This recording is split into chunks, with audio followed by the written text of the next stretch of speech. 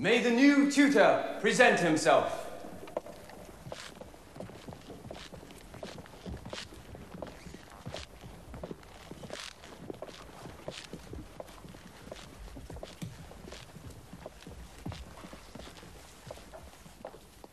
Your Imperial Highness, the new tutor. Mr. Reginald Fleming Johnston. How do you do, Mr. Johnston?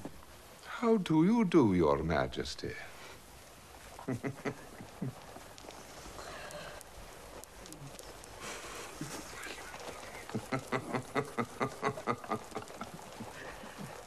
Now we will go to school.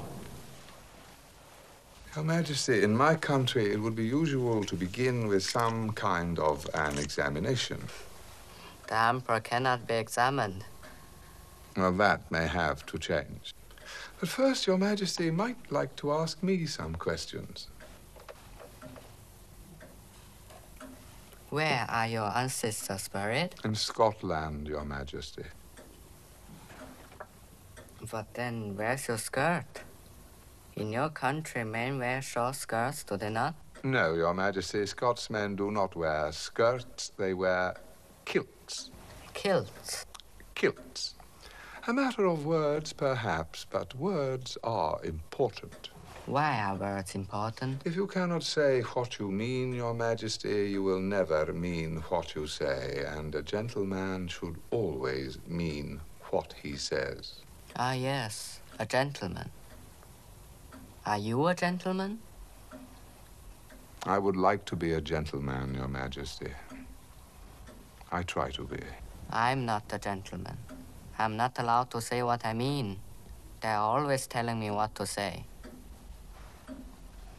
Your Majesty is still very young. I thought he might like to see some English and American magazines.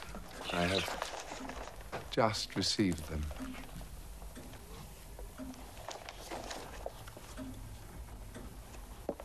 I know that you know that I know that you know that that is a dialogue between Confucius and Zhuangzi. Concerning respect, Your Majesty.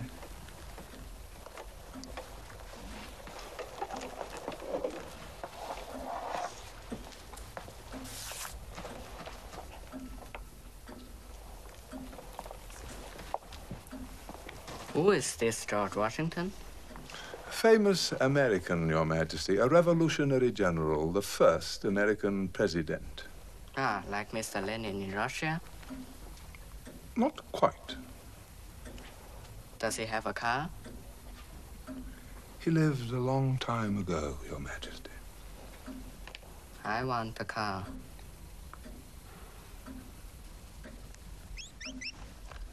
I think your mouse is trying to escape, Your Majesty. Please do not tell anyone about my mouse.